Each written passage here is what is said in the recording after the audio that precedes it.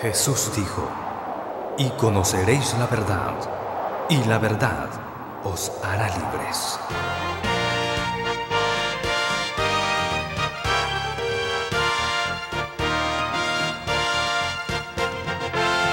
La hora de la transformación llega a ustedes con el precioso mensaje de Dios, enseñando los más altos principios de moral y conducta.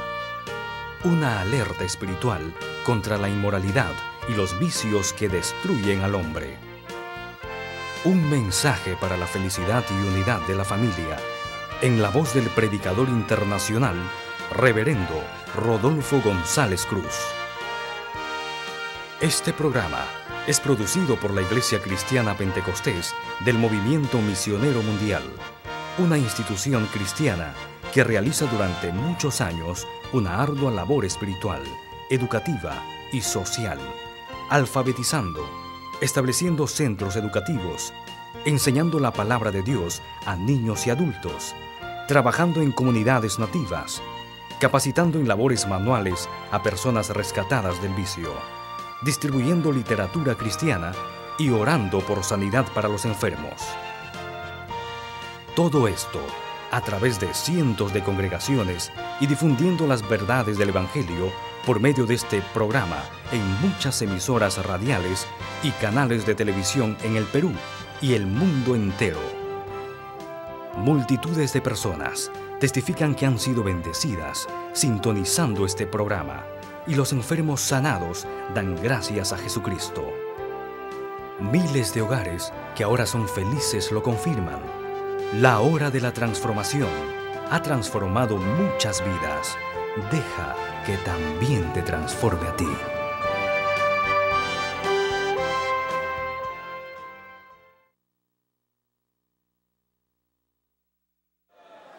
¿Qué tiene que hacer usted, hermana? Hermano, ¿qué tenemos que hacer todo, hermano? Hay que anunciar el Evangelio, hermano. No, pero yo necesito un templo. Yo necesito que me alquilen un local. Yo necesito que me den esto, aquello, lo otro. Uno me dice un día, pastor, ore por mí porque quiero salir a la obra de- del Señor y me hace falta un automóvil.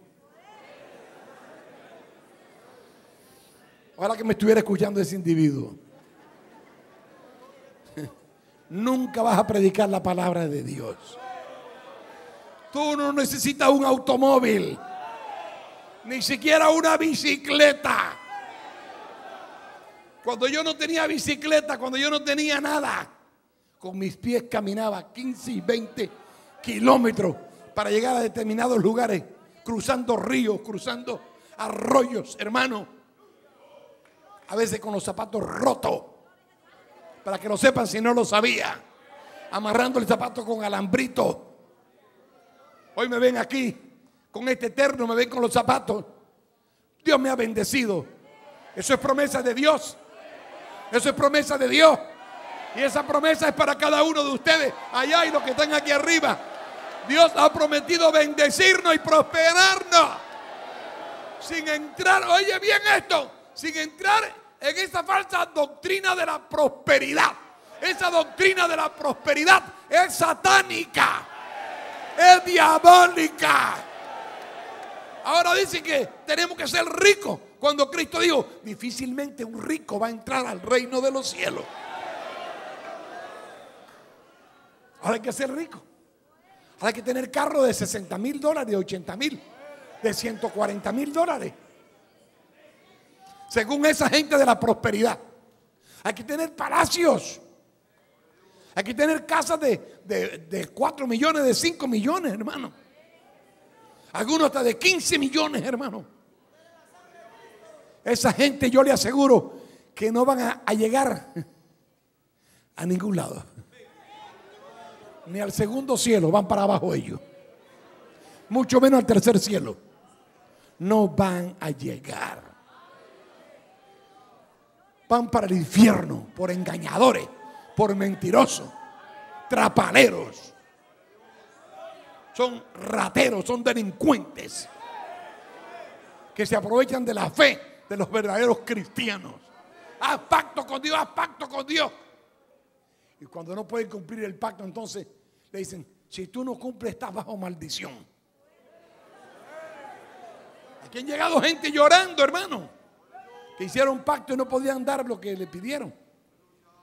Y le han dicho que maldito, hermano, yo quiero, quiero hipotecar la casa para dar mil dólares que prometí. Porque si no estoy bajo maldición, me han dicho. Y usted habló con su esposo ya para hipotecar la casa. No, pastor, pero tengo que hacer algo. Lo único que tiene que hacer es reprender a esos hijos del diablo y no creerle a, eso, a ese pacto que ellos han hecho. Haz pacto con Dios de serle fiel a Dios. Cumple tu responsabilidad. Si ganas 10 soles, saca un sol de diezmo. Ese es tu compromiso con Dios. Eso dice Dios que hagamos. De lo que ganes, saca el diezmo. Y si no sacas el diezmo, eres maldito. Eso lo dice Dios. No un pastor. Eso lo dice Dios. Porque ese diezmo es el que ayuda para que podamos hacer el trabajo que estamos haciendo nosotros. Y dar el diezmo no le resta a nadie. Si gana 100, 90 son tuyos y 10 es para apoyar la obra de Dios. Y aparte de que sacas esos 10, Dios ha prometido bendecirte en todo, en todo. Gloria a Dios, hermano. Hermano, lo que se ponen en las manos de Dios hoy. Para ir de pueblo en pueblo. Para ir donde otros no quieren ir. No buscando comodidades. Si te mueres, te muere. Yo le he dicho, hermano, hermano, aquí si se enferma alguien tiene que confiar en el Señor. No me venga a pedir a mí que lo lleve a una clínica porque no voy a llevar a nadie a una clínica. Si usted es obrero, clame a Dios. Váyase al hospital, atiéndese en el hospital. Gloria a Dios, pero clínica aquí no vamos a pagarle clínica a nadie. El que se enferma, clama a Dios y Dios lo sana. ¿Cómo podemos predicar nosotros un evangelio de poder y de milagro? Si nosotros mismos no clamamos a Dios y si nosotros mismos no vemos la gloria de Dios, hermano. Alabado sea el nombre de Cristo. Poder en el nombre de Jesús. Creemos en un Dios que hace milagros. En un Dios que sigue sanando. La iglesia verdadera de Cristo sigue creyendo que Cristo es el mismo ayer, hoy y por los siglos. A su nombre, gloria. Alabado sea el nombre de Jesús. El Señor quiere obreros, obreras, gente de fe, que cree que es posible todo. Todo es posible. Solo cree, dijo el Señor. Hermanos, estamos llamados a ser misioneros todos los que hemos creído en la palabra de Dios. Los que creemos en Cristo estamos llamados a ser misioneros. Los que trabajan en Betel son parte de la obra misionera. Gloria a Dios. Hay sacrificio, hay entrega, hay trabajo. Esta es una obra misionera. Sea la radio, sea la televisión, el que está dentro de esta obra está en la obra misionera. El que quiere ganar buenos sueldos, chao hermano. Coja su camino y váyase. Alabado sea el Señor. Aquí no hay buenos sueldos, hermano. Esta es una obra de sacrificio y de bendición también. Alabado sea el Señor, hermano. No queremos gente aquí carnales. No queremos gente aquí mundana. No queremos gente que nos traigan canciones mundanas. Ni a la radio, ni a la televisión. No queremos acá gente dañada. Gente rencillosa, problemática. Queremos hombres convertidos y mujeres convertidas en nuestra emisora, en nuestro canal de televisión. Gente de fe, gloria a Dios. Poder en el nombre de Jesús. Esta es la obra de Dios. Esta es la obra misionera. Hemos crecido por eso. Por eso hemos crecido. Por eso hemos prosperado. Por eso tenemos todo lo que tenemos, hermano. Cuando perdamos esta visión, se acabó todo. Se acabó todo. Gloria al nombre del Señor. Pero el día que nosotros nos blandequemos, esta obra se convertirá igual que todas las otras denominaciones cristianas en sepulcros blanqueados, en generaciones de víbora. Alabado sea el nombre del Señor, como le llamó Juan el Bautista, como le llamó Jesucristo. Alabado sea el Señor. Alabado sea el Señor, hermano. Somos gente de visión misionera, gente de fe. Que no estemos pensando en estar guardando dinero en el banco, hermano. Que no estemos pensando en estar guardando y preparándonos. Como decían algunos que ya no están. Porque el día que el pastor le haga así, lo tira para la calle sin nada. Si aquí hemos tenido gente que han caído en adulterio, hermano. Que no había que darle nada por asquerosos. Pero por causa de la esposa y de los hijos, le hemos mantenido por meses y hasta por años a esos hijos. ¿Quién fue el cochino y descarado que dijo eso? En ninguna iglesia le dan nada a nadie, hermano. Yo he recorrido todo el Perú antes de iniciar esta obra y me encontré con pastores que su esposa estaba operada y con situaciones y esa, esa organización con unos fondos tremendos no le daba ni un centavo a ese pastor, hermano. Yo tuve que sacar de mi bolsillo y darle, porque no dan nada. Hay pastores de muchas iglesias aquí que no ganan ni 700 soles ni 800 soles, ni mil soles. ¿Qué les parece? Ni mil soles. Y aquí hay obreros que están recibiendo muy buenos soles. Muy buenos soles. Porque Dios bendice. Alabado sea el nombre de Cristo. Alabado sea el nombre de Cristo. Hermano, esto es una bendición grande. Esto no es para hacernos ricos. Esto es para ser misioneros. Esto es para agradecerle a Dios y ser más humilde. Alabado sea el nombre del Señor. El mundo necesita misioneros y misioneras. Los que se fueron huyendo para allá, para los países. No por persecución, sino buscando plata. Mejor les fuera. Que escuchen ahora. Mejor les fuera a los que se han ido a Japón o se han ido a cualquier país al que sea. Hasta haciendo matrimonios ilegales. Falsos. Para entrar en algún país. Lo hacen porque no son cristianos. Los verdaderos cristianos nunca harán eso. Nunca lo harán. Grulla, aunque sea una pata en tu tierra. La grulla es un ave de pata larga. Dice, mira, mejor que seas una grulla con una sola pata en tu tierra que con dos patas allá en otro país. No busque el riquezas, no busque abundancia. Dile a Dios, bendíceme. No me des tanto, tanto que me vaya a dañar. Ni tampoco, Señor, que yo vaya a rebelarme o blasfemar. Los que reciben mucho dinero se desgracian. Los que tienen muchas plata están sentenciados a desaparecer en esta obra. A convertirse en rebeldes, contumaces, en traidores, en divisionistas. Están llamados a desaparecer, hermano. Que el Señor les ayude a cada uno. Que el Señor les ayude a cada uno. Esta no es una obra para vivir como ricos. Esta es una obra para vivir como Cristo y los apóstoles. Alabado sea el nombre del Señor. Esta no es una obra para estar cambiando de carro todos los años. Yo podido comprarme carro cero kilómetros.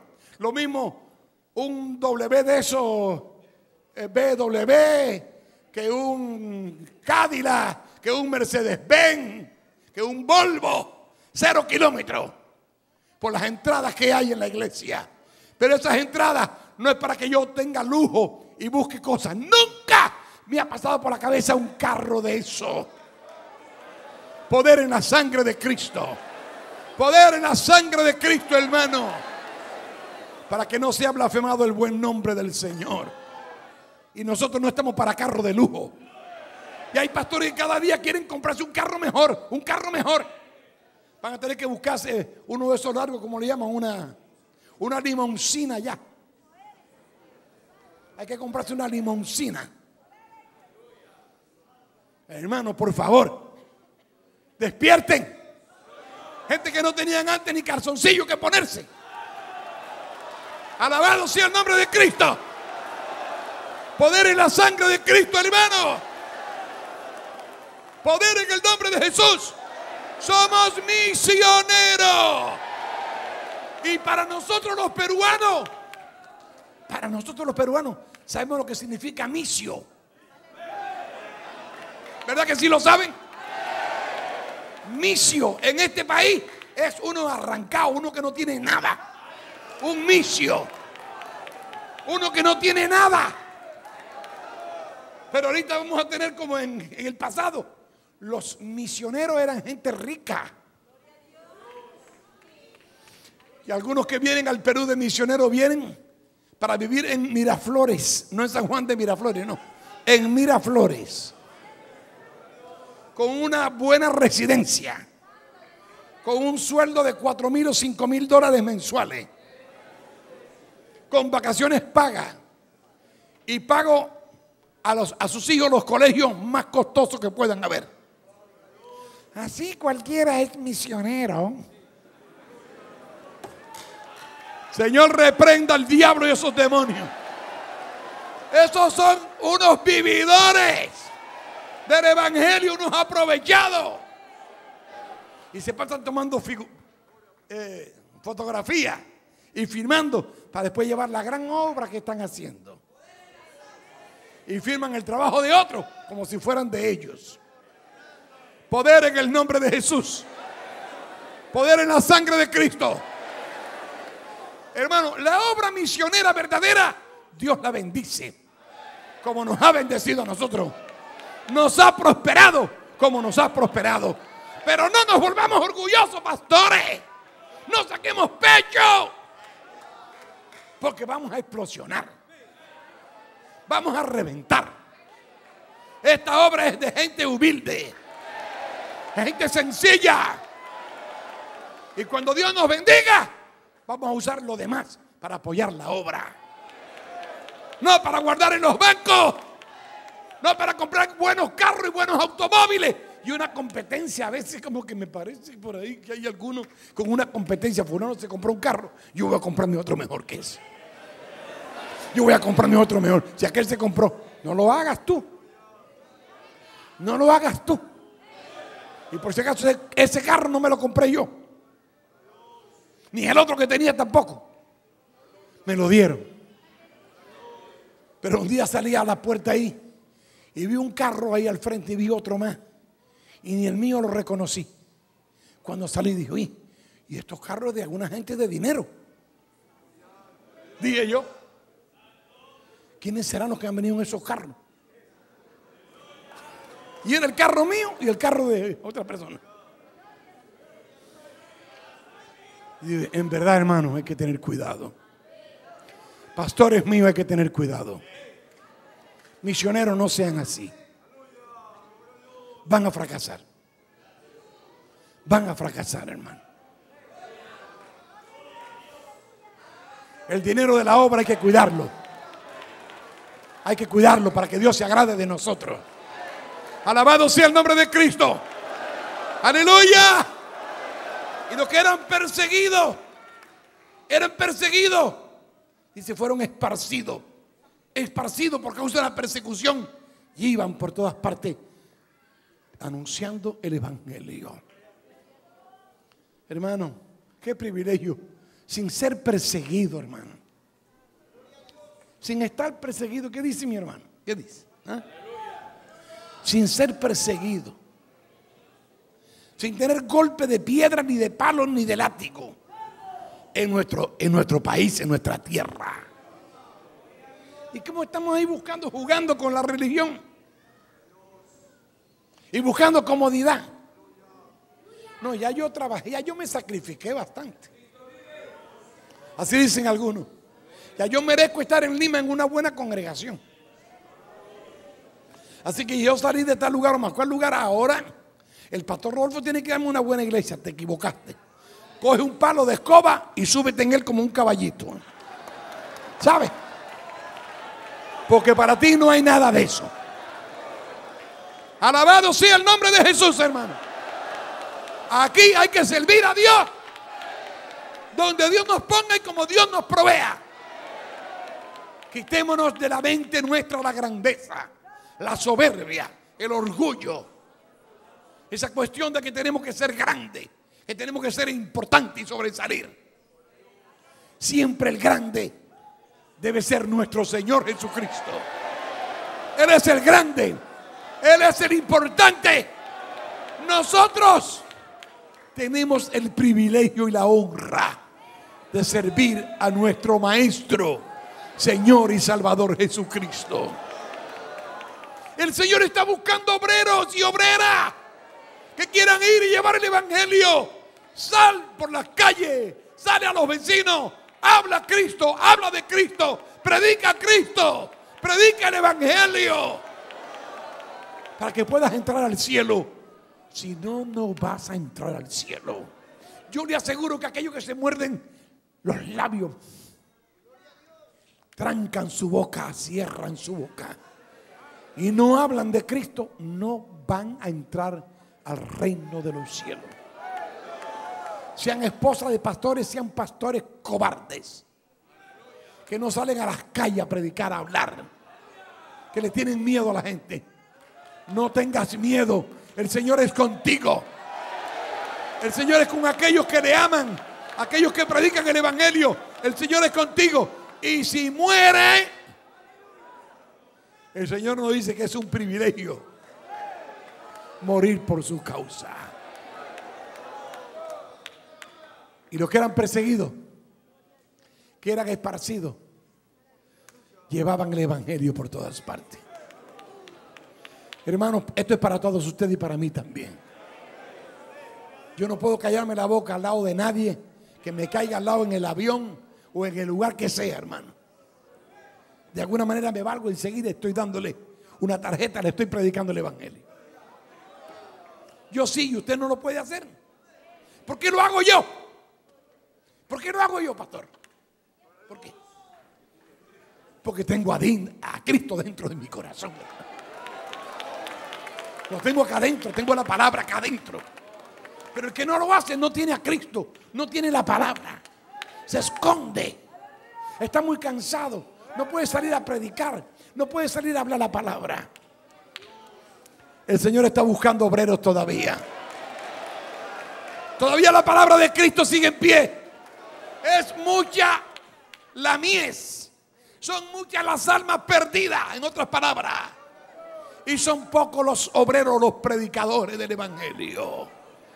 El Señor dice, rogad al Señor de la mies, el Señor de la tierra, el Señor de los hombres. Rogad al Señor, los que son creyentes. Rogad al Señor, Señor, envía obrero, levanta obrero. Pero también debe decirle, heme aquí, Señor. Heme aquí, Señor envíame a mí. Amigos que están aquí, amigos que nos escuchan a través de la radio, la televisión, la internet, es un privilegio recibir a Cristo como su Señor y Salvador y decirle, Señor, aquí estoy, cuenta conmigo. Yo quiero ser un predicador del Evangelio para que te salve, para que no vayas al tormento eterno. Recibe a Cristo y dile, Señor, aquí estoy a tus pies úsame ahora.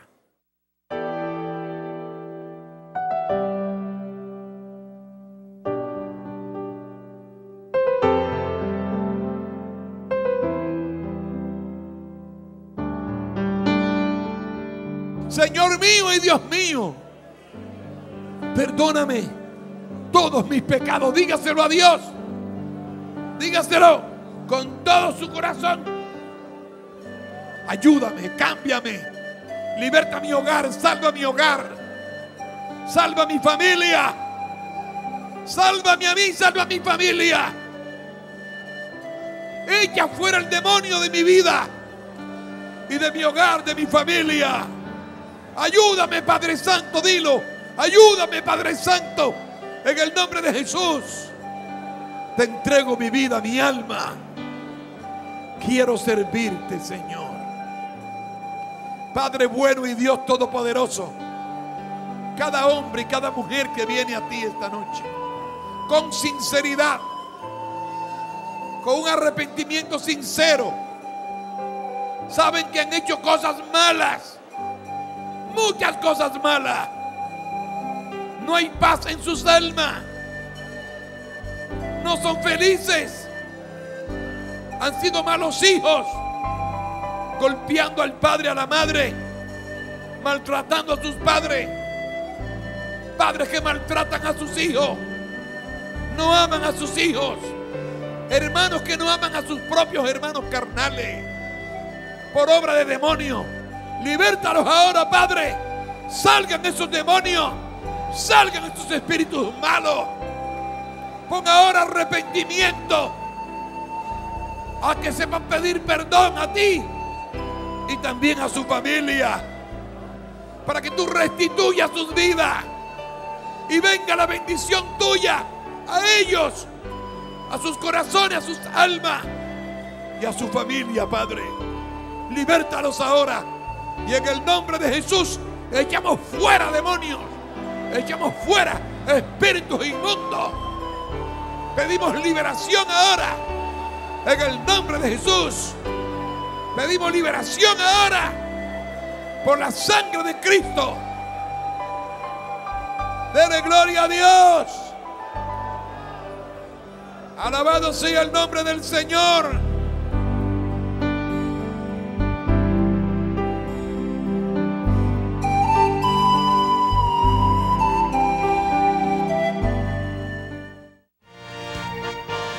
Esperamos que este programa haya sido una bendición para su vida. Visítenos a nuestra sede central en la avenida 28 de julio 1781, La Victoria.